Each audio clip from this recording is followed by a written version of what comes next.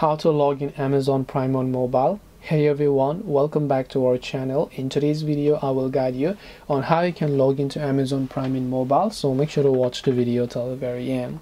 So if you would like to log into Amazon Prime on your mobile, it's actually quite very simple to do so because all you have to do is go ahead and then first of all make sure to launch the amazon application or the amazon prime video application. Now you can log into amazon prime in numerous ways be it amazon.com or amazon shopping or prime video itself. Depending upon whatever else you prefer just go ahead and then actually open the amazon app and then tap the done option.